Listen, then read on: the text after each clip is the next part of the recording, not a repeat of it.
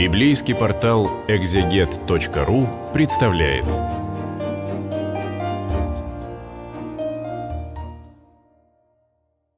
Здравствуйте, братья и сестры, все любящие чтение Слова Божия. Мы продолжаем с вами изучение второго послания апостола Павла к Коринфянам на библейском интернет-портале exget.ru. И сегодня мы с вами рассмотрим третью главу.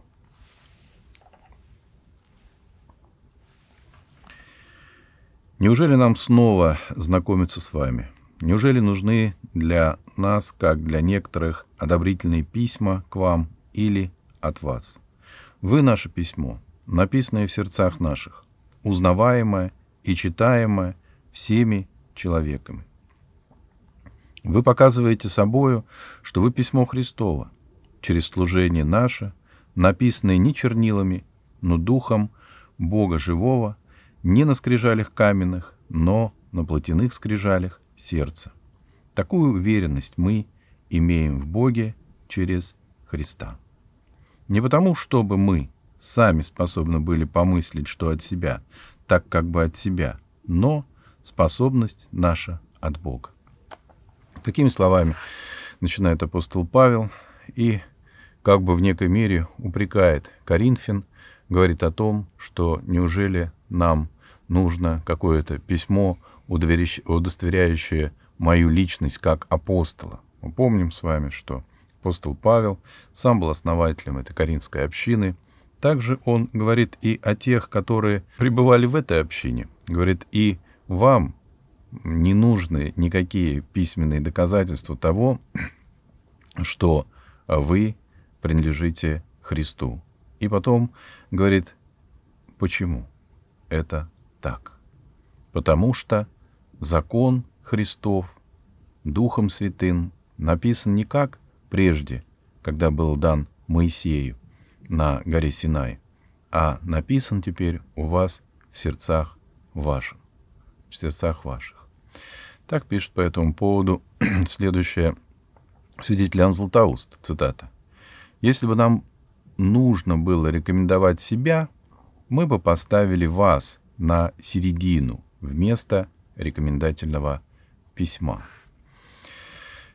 Конец цитаты. Есть еще интересное замечание по этому поводу у свидетеля Амбросия Медиаланского. Он пишет следующая цитата. «Мы не читаем заповеди Божии, словно записанные чернилами на каменных скрижалях, но они написаны в сердца наши духом Бога живого. Посему в наших собственных мыслях мы формулируем закон. Конец цитаты. Очень важно, потому что как это понять? что в наших сердцах записан закон. Понятно, когда он записан здесь, мы с вами читаем Священное Писание, записан на бумаге, а как это в сердцах? И вот Амвросий Медиаланский это поясняет. Он говорит, посему в наших собственных мыслях мы формулируем закон. О чем мы когда-то с вами говорили.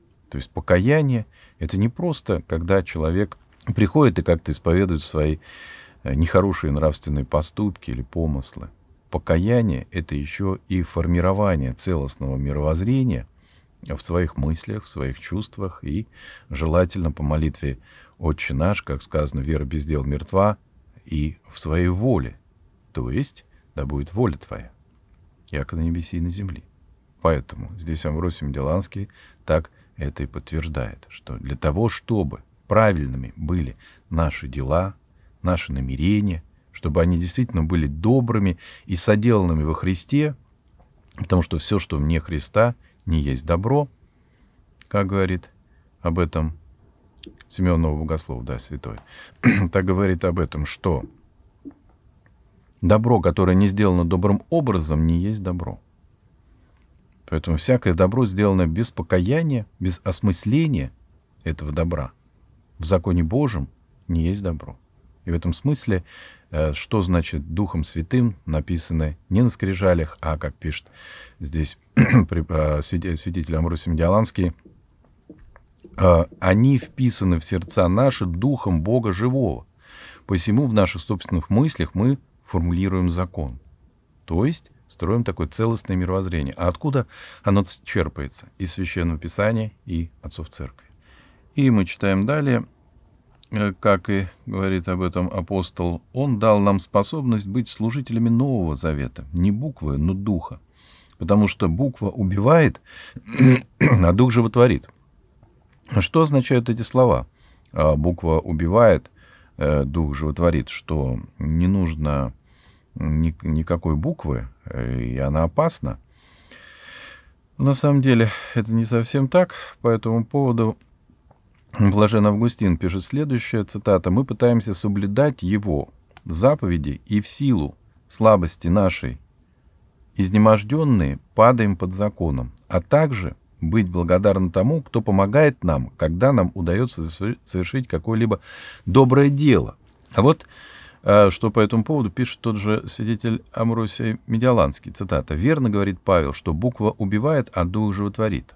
Ведь буква обрезает не полную часть тела, а понимающий дух обеспечивает обрезание всей души и всего тела. Дабы лишившись ненужного, а что еще так не нужно, как греховная алчность и вожделение, которое не природа дала, а произвел грех, и поста держаться, и умеренность возлюбить. Телесное обрезание — это знак, обрезание же духовное — истина — Первое понимает, отнимает часть тела, второе отнимает грех. Конец цитаты. А, такое дает истолкование. Есть еще несколько, вот, пожалуй, да, Блаженный Августин. Вот, вот это истолкование, оно здесь э, э, более так четко дает это разграничение. Смотрите, как он пишет. А, цитата. «Пусть дух соединяется с законом, Ибо если ты принял закон, то помощи Духа не имеешь, ты не исполняешь того, что в законе. Ты не исполняешь того, что тебе повелевается. Пусть присоединится Дух, пусть Он помогает. Так исполнится то, что требуется. И вот смотрите, если же Дух отсутствует, то буква убивает тебя. Незнание, незнание не извиняет тебя, потому что ты принял закон. Теперь, узнав, что ты должен делать, незнание не прощает тебя. Почему же апостол говорит, буква убивает, а дух животворит? Каким образом дух дает жизнь? И вот, внимание, он делает возможным исполнение буквы так, чтобы она не убивала. Святы те, кто исполняют закон Божий даром Божьим. Но закон может повелевать, он не может помогать. Дух же приходит как помощник. И тогда заповедь Божия исполняется с радостью и удовольствием. Конечно, многие соблюдают законы страха, и те, кто держится закона из страха наказания, предпочли бы, чтобы того, чего они боятся, не было. Соблюдающие закон из любви к праведности радуются и тогда потому, что закон им не враждебен. Конец статы.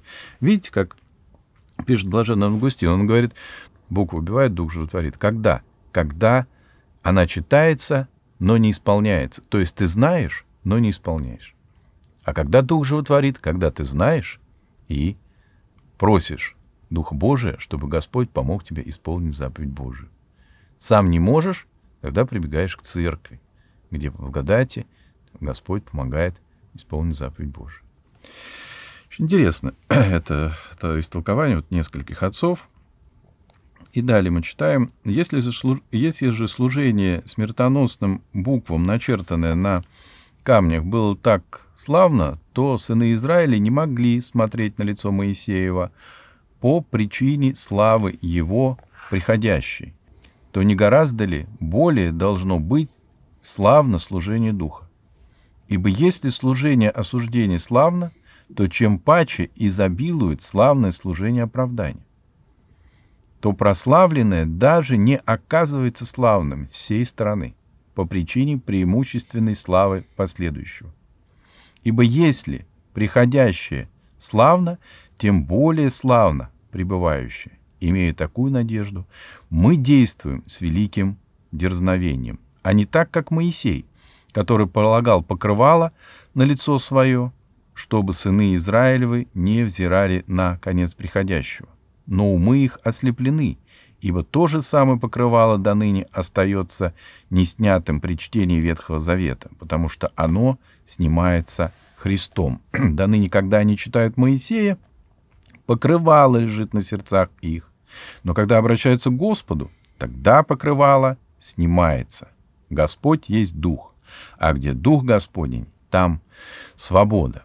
Такое рассуждение дается апостолом Павлом по поводу покрывала благодати Божией, которая снимается с глаз как завеса для того, чтобы правильно понимать тексты Ветхого Завета. Как об этом апостол Павел пишет в послании к евреям в первой главе, в первом стихе. Он пишет, Бог многократно и многообразно являл себя в пророках. Итак, он пишет, имеет, в 12 стих, «Имея такую надежду, мы действуем с великим дерзновением». С великим дерзновением. Там Русим Диаланский э, поясняет, что здесь э, говорит апостол Павел. Цитата. «Мы же верим в то, что сами воистину увидим не славу Моисееву, которая занимает более низкую ступень, но прекрасную славу Спасителя. Иудей, иудеи же не заслужили и славу раба его увидеть, а нам предстоит узреть Господа, всеобщую славу. Поэтому должны вернуть, насколько можем, благословение Бога, дабы стать более достойными того, кто дал нам веру, отвращая нас от грехов для созерцания славы Бога. И теперь дело за тем, чтобы возросла в нас вера, добрыми делами воспитанная. Ибо, говорит, сколько узрим, насколько мы верим. То есть по вере вашей да будет вам. Конец цитаты. О каком свете здесь говорит э, и апостол Павел, и э, свидетель Амрусим Диаланский. Тот свет, который был тогда, и не могли взирать на Моисея, это свет, говорит, занимает низкую ступень, но прекрасную славу Спасителя. Речь идет о свете фаворском, о котором мы знаем из Нового Завета. Мы помним, когда Господь взял с собой учеников и преобразился перед ними. И практика, исихасская практика, известная афонская практика, например, свидетель Григорий Палама, говорил о возможности человеком восприятия и видения этого нетварного света. Мы помним, какая там полемика тогда развязалась по этому поводу. Был такой Варлаам, Варлаам э, Калабрийский. Э, он был достаточно хорошим оратором, но вся проблема была то, что, в том, что он Э, был человеком западной школы и мыслил юридически и рационально. И не мог он принять то, о чем учила практика Восточной Церкви. Это было на самом деле ничего здесь нового не было придумано. Это была старая практика, просто свидетель Григорий Палама из своего опыта жизни, находясь под руководством с, в общем-то, молодых лет опытных людей, молитвенников, исихастов, молчальников, которые всю жизнь свою предавали молитве, они говорили о том, что есть возможность восприятия и видения света фаворского, нетварной божественной энергии.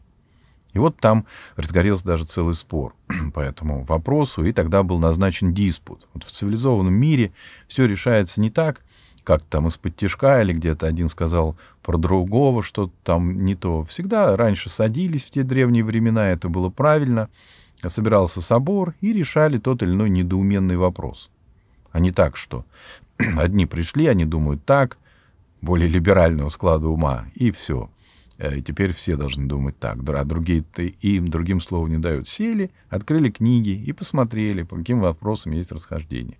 И вот тогда в 1341 году, память не да, 1340-41 год, в Софийском соборе, да, в Византии, был этот диспут. И Варлам Калабрийский, он его проиграл. Восторжествовала, восторжествовала истина, и было закреплено учение о, неви, о нетварных божественных энергиях, которые лежи, легли впоследствии произведения святителя Григория Паламы о возможности зрения света нетварных божественных энергий. Поэтому здесь апостол Павел как раз говорит об этом, что мы узрим эту славу.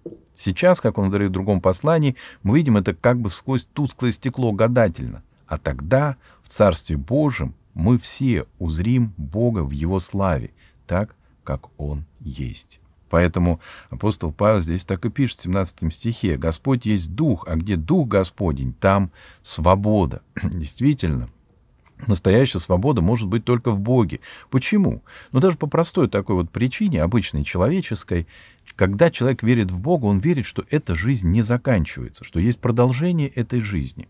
Он не верит, что там, умер и на этом все закончилось. Под солнцем действительно все закончится в этом мире, но будет продолжение его жизни. Поэтому где больше простора, где больше свободы мысли? Конечно, там, где есть продолжение, а не там, где есть ограничения. И в этом смысле апостол Павел так и пишет. Где Дух Господень, там свобода. Истинная свобода, о которой вот сегодня очень много говорят, э, но говорят, что свобода, она в удовлетворении своих страстей, но на самом деле это не свобода далеко, потому что такая свобода ограничивает человека. Некоторые говорят, ну как? Очень просто. Человек думает, что я могу пить спиртного сколько я хочу. И начинает пить. Ограничена его свобода? Да, потому что на следующий день он собрался куда-то пойти, но уже не может. А почему? Потому что известная причина, да, у него похмельный синдром. Ограничилась его свобода. Все просто, да. Помню, когда-то пришел в школу и говорил о вреде там, э, чрезмерного винопития и по возрасту, когда это еще не положено, и курение. И, это, и говорил о том, что где дух Господень, там свобода. Ко мне подошел молодой человек и сказал, ну а разве вы свободны? Вот я могу, хочу пью, хочу курю, а вы не можете ни пить, ни курить. Я ему ответил, что я могу и то, и другое, но этого не хочу. По своей свободе я сделал выбор. А вы выпиваете? Он говорит, ну, в общем, уже да. Я говорю, бросить можете? Говорит, ну, не хочу, вот, уже не, не очень не могу.